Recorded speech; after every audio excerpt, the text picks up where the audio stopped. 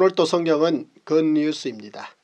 누구나 하루 20분이면 성경 1년 1독 할 수 있습니다. 누구나 세상 예화 없이도 성경 이야기 충분히 재미있게 할 수 있습니다. 성경은 대충대충 공부할 책이 아닙니다.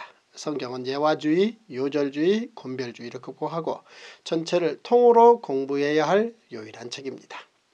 먼저 오늘의 그 뉴스 사무엘상 17장에서 18장의 통습 5가지 포인트입니다. 첫째, 엘라 골짜기 40일의 두려움이 천천만만 노래를 만듭니다. 둘째, 다윗의 왕으로서의 세 번의 예선은 사자의 발톱, 골리앗의 배틀체 그리고 사울의 사유화된 권력이었습니다. 셋째, 다윗과 요나단은 전쟁은 하나님께 속해 있다는 말로 통합니다. 넷째, 요나단의 제안으로 요나단과 다윗은 언약을 맺습니다. 다섯째, 사울은 자신의 딸 미가를 이용해 다윗에 대한 차도살인을 시도합니다.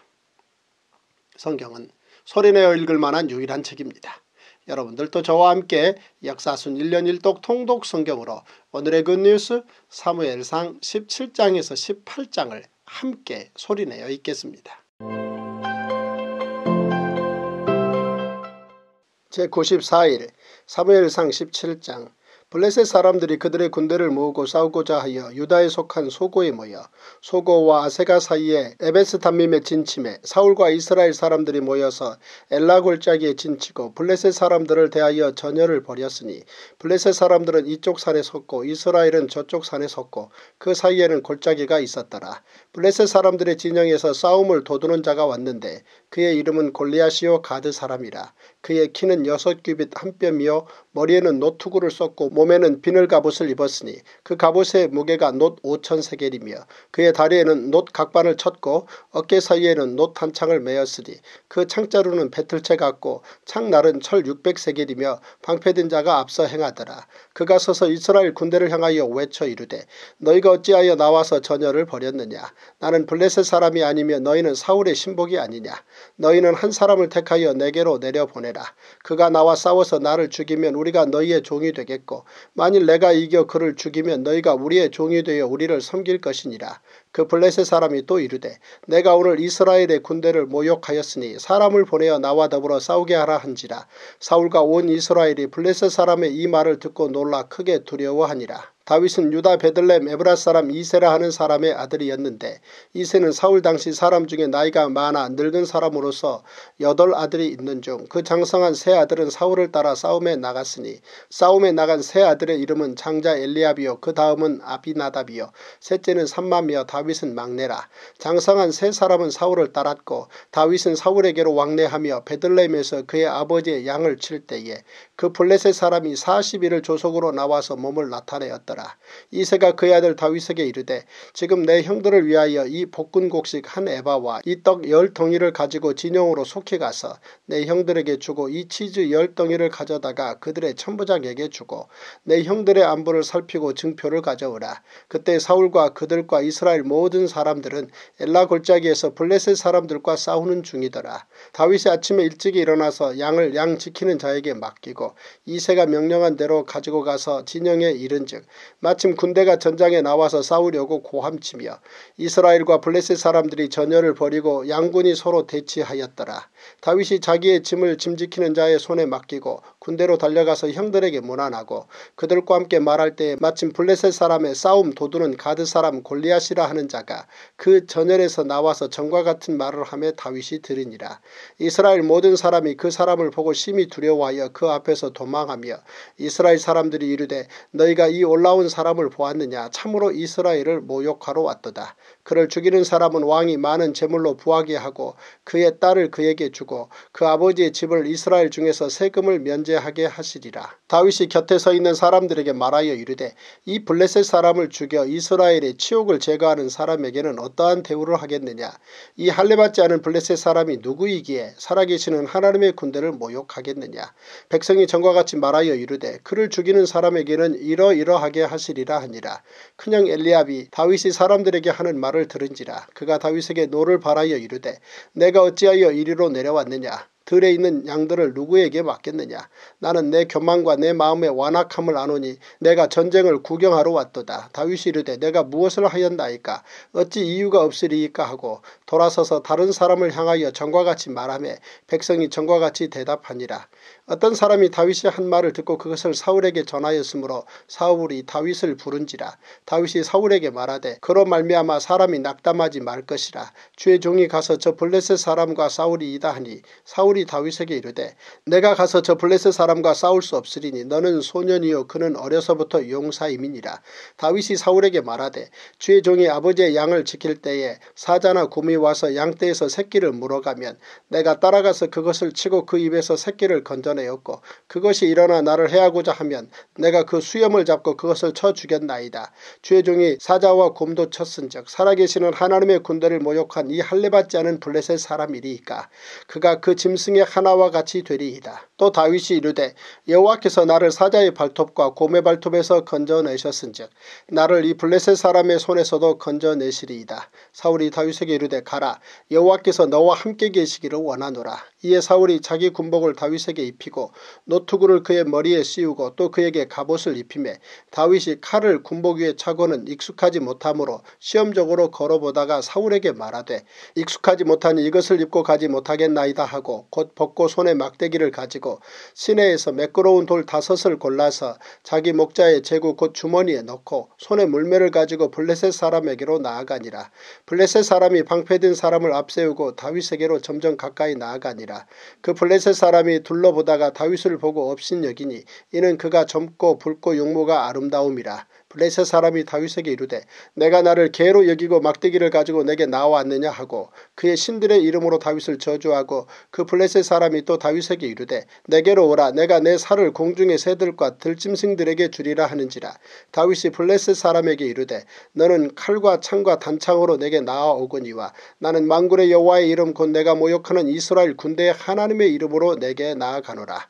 오늘 여호와께서 너를 내 손에 넘기시리니 내가 너를 쳐서 내 목을 베고 블레셋 군대의 시체를 오늘 공중의 새와 땅의 들짐승에게 주어 온 땅으로 이스라엘에 하나님이 계신 줄 알게 하겠고 또 여호와의 구원하심이 칼과 창에 있지 아니함을 이 무리에게 알게 하리라.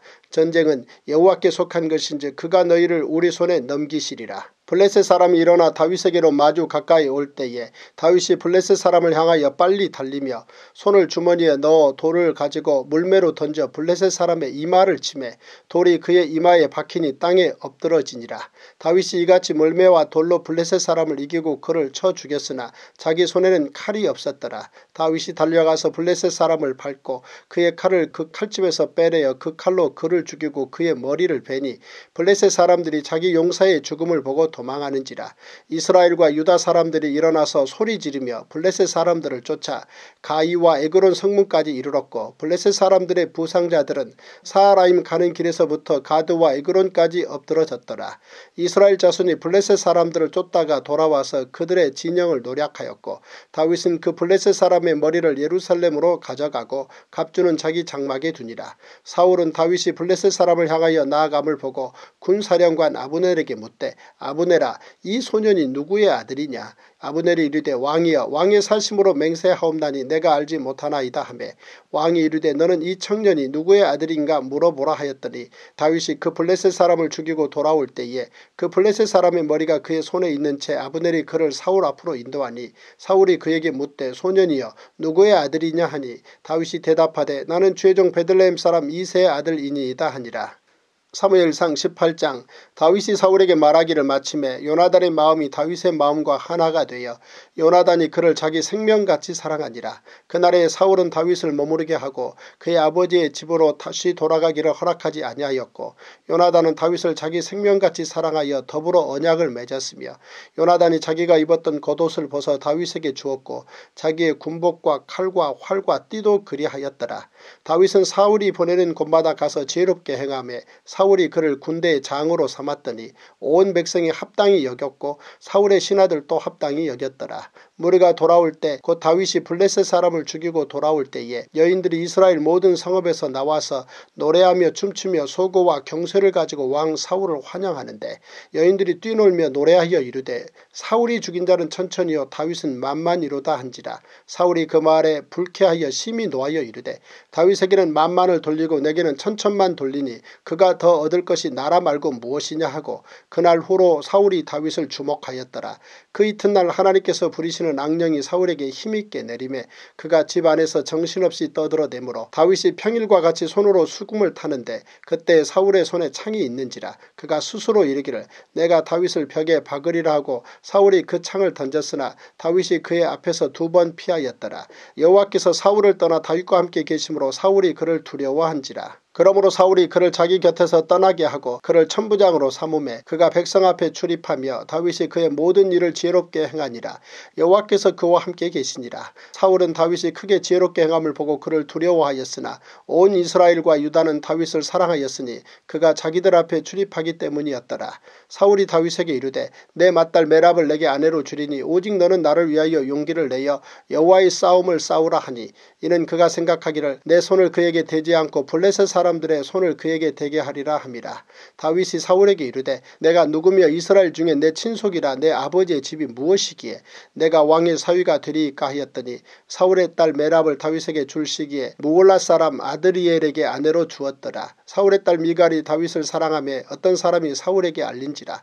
사울이 그 일을 좋게 여겨 스스로 이르되 내가 딸을 그에게 주어서 그에게 올무가 되게 하고 블레셋 사람들의 손으로 그를 치게 하리라 하고 이에 사울이 다윗에게 이르되 내가 오늘 다시 내 사유가 되리라 하니라. 사울이 그의 신하들에게 명령하되 너희는 다윗에게 비밀이 말하여 이르기를 보라 왕이 너를 기뻐하시고 모든 신하도 너를 사랑하나니 그런즉 내가 왕의 사유가 되는 것이 가하니라 하라. 사울의 신하들이 이 말을 다윗의 귀에 전함에 다윗이 이르되 왕의 사위 되는 것을 너희는 작은 일로 보느냐 나는 가난하고 천한 사람이라 한지라. 사울의 신하들이 사울에게 말하여 이르되 다윗이 이러이러하게 말하더이다 하니 사울이 이르되 너희는 다윗에게 이같이 말하기를 왕이 아무것도 원하지 아니하고 다만 왕의 원수의 보복으로 블레셋 사람들의 포피 100개를 원하신다 하라 하였으니 이는 사울의 생각에 다윗을 블레셋 사람들의 손에 죽게 하리라 함이라.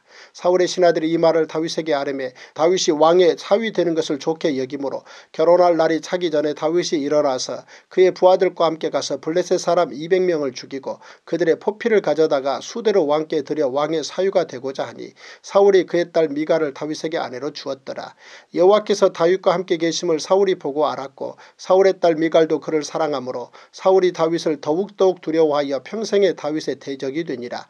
블레셋 사람들의 방백들이 싸우러 나오면 그들이 나올 때마다 다윗이 사울의 모든 신하보다 더 지혜롭게 행하며 이에 그의 이름이 심히 귀하게 되니라. 오늘 우리는 사무엘상 17장에서 18장을 함께 읽었습니다. 골리앗이 3천년이 지난 지금까지 다윗과 골리앗으로 전 세계적으로 유명한 이유는 결코 절대 져서는 안 되는 상대에게 진 케이스이기 때문입니다. 이 이야기가 얼마나 쇼킹한 일이었는지 당시에는 사울이 죽인 자는 천천히요 다윗은 만만이로다 라는 노래를 불렀는데 이 노래는 블레셋과 골리앗에 대한 두려움이 컸던 만큼 이스라엘 전역에 퍼지게 됩니다. 이때부터 다윗은 사울 왕의 정적이 되어 사울의 권력 사유와의 깊숙한 곳까지 지켜보는 공부를 하게 됩니다. 성경은 다윗을 통해 권력의 사유화가 아닌 권력의 공공성을 제시해 줍니다. 그리고 공과 의를 행하는 것이 올바른 정치임을 가르쳐 줍니다. 모든 성경은 하나님의 감동으로 된 것으로 교훈과 책망과 바르게함과 의로 교육하기에 유익합니다. 성경 한 권이면 충분합니다. 그러므로 오늘도 세상 뉴스를 넘어 굿뉴스 성경으로 행복하시고 굿뉴스 성경으로 승리하시는 멋진 하루 되십시오. 와우